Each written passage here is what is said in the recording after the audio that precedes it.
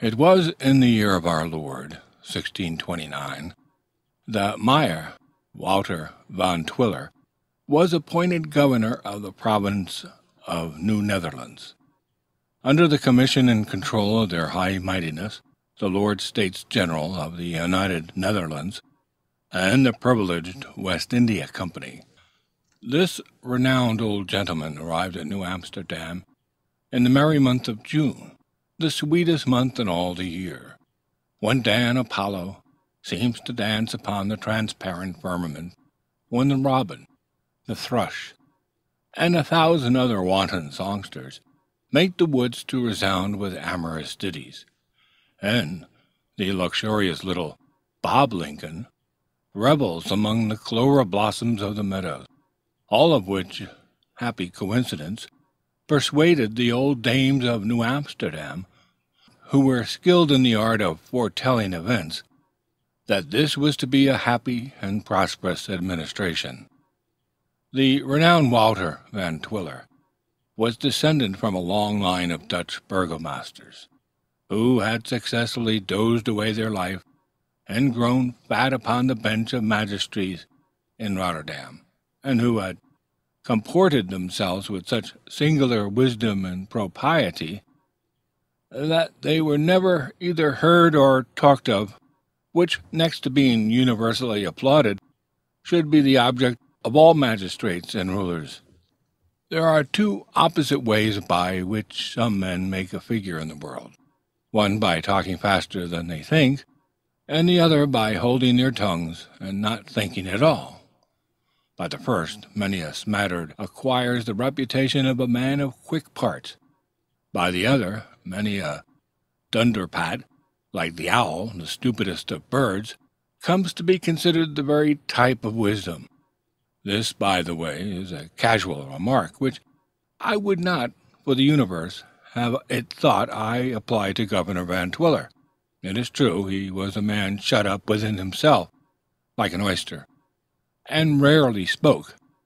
except in monosyllables. But then it was allowed he seldom said a foolish thing. So invincible was his gravity that he was never known to laugh, or even to smile, through the whole course of a long and prosperous life. Nay, if a joke were uttered in his presence, that set light-minded hearers in a roar, it was observed to throw him in a state of perplexity. Sometimes he would inquire into the matter, and when, after much explanation, the joke was made as plain as a pikestaff, he would continue to smoke his pipe in silence, and at length, knocking out the ashes, would exclaim, "Well, I see nothing in all that to laugh about." With all his reflective habits, he never made up his mind on a subject. His adherents accounted for this by the astonishing magnitude of his ideas. He conceived every subject on so grand a scale that he had not room in his head to turn it over and examine both sides of it. Certainly it is, that if any matter were propounded to him on which ordinary mortals would rashly determine at a first glance, he would put on a vague, mysterious look, shake his capricious head, smoke some time in profound silence, and at length observe that he had his doubts about the matter, which gained him the reputation of a man slow of belief and not easily imposed upon. What is more, it gained him a lasting name, for to this habit of the mind has been attributed his surname of Twiller, which is said to be a corruption of the original Twijfler or, in plain English, doubter. The person of this illustrious old gentleman was formed and proportioned as though it had been molded by the hands of some cunning Dutch statuary, as a model of majesty and lordly grandeur. He was exactly five feet six inches in height, and six feet five inches in circumference. His head was a perfect sphere, and of such stupendous dimensions that Dame Nature, with all her sex's ingenuity, would have been puzzled to construct a neck capable of supporting it; wherefore she wisely declined the attempt, and settled it firmly on top of his backbone, just between the shoulders. His body was oblong, and particularly capacious at bottom, which was wisely ordered by Providence, seeing that he was a man of sedentary habits, and very averse to the idle labor of walking. His legs were short, but sturdy in proportion to the weight they had to sustain, so that when erect he had the appearance of a beer barrel on skids. His face, that infallible index of the mind, presented a vast expanse, and furrowed by those lines and angles which disfigure the human countenance with what is termed expression. Two small gray eyes twinkled feebly in the mist, like two stars of lesser magnitude in the hazy firmament, and his full fed cheeks, which seemed to have taken toll on everything that went into his mouth, were curiously mottled and, and streaked with dusty red, like a Spitzenberg apple. His habits were as regular as his person. He daily took his four stated meals, exactly an hour to each. He smoked and doubted eight hours, and he slept the remaining twelve of the four and twenty. Such was the renowned Wouter Van Twiller, a true philosopher. For his mind was either elevated above, settled below,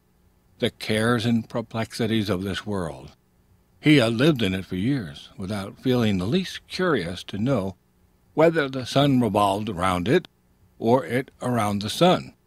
and he had watched, for at least half a century, the smoke curling from his pipe to the ceiling, without once troubling his head with any of those numerous theories by which a philosopher would have perplexed his mind in according for its rising above the surrounding atmosphere. In his council he presided with great state and solemnity. He sat in a huge chair of solid oak, hewn in the celebrated forest of the Hague, fabricated by an experienced timberman of Amsterdam, and curiously carved about the arms and feet into exact imitations of a gigantic eagle's claws. Instead of a scepter, he swayed a long Turkish pipe, wrought with jasmine and amber, which had been presented to the stadtholder of Holland at the conclusion of a treaty with one of those petty Barbary powers. In this stately chair would he sit, and this magnificent pipe would he smoke, shaking his right knee with a constant motion, and fixing his eyes for hours together upon a little print of Amsterdam, which hung in a black frame against the opposite wall of the council chamber. Nay, it has been said that with any deliberation of extraordinary length and intricacy was on the carpet, the renowned Wouter would shut his eyes for a full two hours at a time, that he might not be disturbed by external objects, and at such times the internal commotion of his mind was evinced by certain regular guttural sounds, which his admirers declared were merely the noise of conflict, made by his contending doubts and opinions. It is with infinite difficulty I have been able to collect these biographical anecdotes of the great man under consideration. The facts representing him were so scattered and vague, and divers of them so questionable in point of authenticity, that I had to give up the search after many and decline the admission of still more, which would have tended to heighten the coloring of his portrait. I have been the more anxious to delineate fully the persons and habits of Wouter Van Twiller, from the consideration that he was not only the first, but also the best governor that ever presided over this ancient and respectable province. And so tranquil, benevolent was his reign, that I did not find throughout the whole of it a single instance of any offender being brought to punishment a most indisputable sign of a merciful governor, and a case unparalleled, excepting in the reign of the illustrious King Log, from whom it is hinted the renowned Van Twiller was a lineal descendant. The very outset of the career of this excellent magistrate was distinguished by an example of legal acumen, that gave flattering examples of a wise and equitable administration. The morning after he had been installed in office, and at the moment that he was making his breakfast from a prodigious earthen dish filled with milk and Indian pudding, he was interrupted by the appearance of Wandel Schoonhoven, a very important old burgher of New Amsterdam, who complained bitterly of one Barent Bleecker, inasmuch as he refused to come to a settlement of accounts. Seeing that there was a heavy balance in favor of the said Wandel, Governor Van Twiller, as I have already observed, was a man of few words. He was likewise a mortal enemy to multiplying writings, or being disturbed at his breakfast. Having listened attentively to the statement of Wandel Schoonhoven, giving an occasional grunt as he shoveled a spoonful of Indian pudding into his mouth, either as a sign that he relished the dish, or comprehended the story, and he called unto him his constable,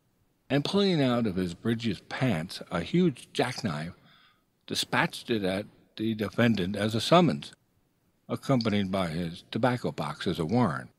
This summary process was as effectual in those simple days as was the seal ring of the great Haroun Alraschid among the true believers. The two parties being confronted before him, each produced a book of accounts, written in a language and character that would have puzzled any but a High Dutch commentator or a learned decipherer of Egyptian obelisks. The sage Wouter took them one after the other, and having poised them in his hand, and attentively counting over the number of leaves, fell straightway into a great doubt, and smoked for half an hour without saying a word. At length, laying his finger beside his nose, and shutting his eyes for a moment, with the air of a man who just caught a subtle idea by the tail, he slowly took his pipe from his mouth puffed forth a column of tobacco smoke, and with marvellous gravity and solemnity pronounced, that having carefully counted over the leaves and weighed the book, it was found that one was just as thick and heavy as the other. Therefore, it was the final opinion of the court that the accounts were equally balanced. Therefore, Wandel should give Barent a receipt, and Barent should give Wandel a receipt and the constable should pay the costs. Now this decision, being straightway made known, diffused general joy throughout New Amsterdam, for the people immediately perceived that they had a wise and equitable magistrate to rule over them. But its happiest effect was, that not another lawsuit took place throughout the whole of his administration, and the office of constable fell into such decay that there was not one of those losel scouts known in the province for many years. I am the more particular in dwelling on this transaction, not only because it deemed Eh, one of the most sage and righteous judgments on record, and well worthy of the attention of modern magistrates, but because it was a miraculous event in the history of the renowned Wouter, being the only time he was ever known to come to a decision in the whole course of his life.